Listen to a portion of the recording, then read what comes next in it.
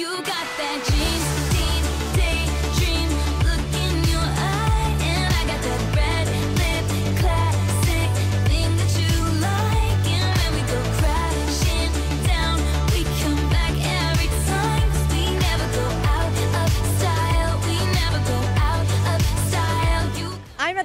annual Shop for Success pop up shop here in Westwood. All of the proceeds from the designer clothes being sold tonight will go to the nonprofit Dress for Success. Let's go check it out. What made you want to get involved? I got involved, I think it was almost five years ago. I hosted the Full for Charity Breakfast.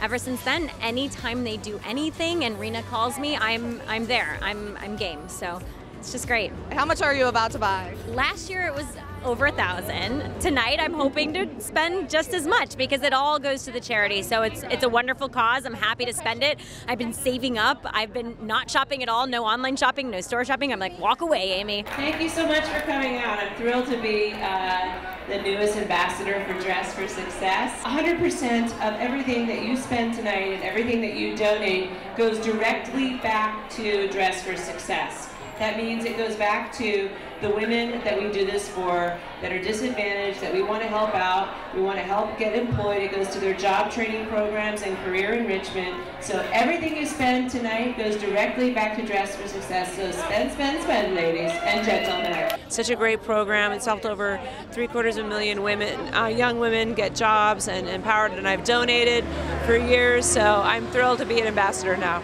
being able to give back um, and help other women, you know, achieve financial independence, I think is extremely important. But I'm sure throughout the weekend, um, I'll spend a pretty penny, hopefully. And I think it's such a great organization, nonprofit for charity, and I just want to be a part of it.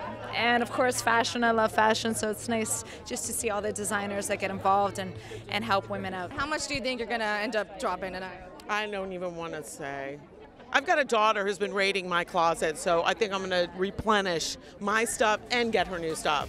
Thank you so much for watching. For The Scoop, I'm Anna Sterling.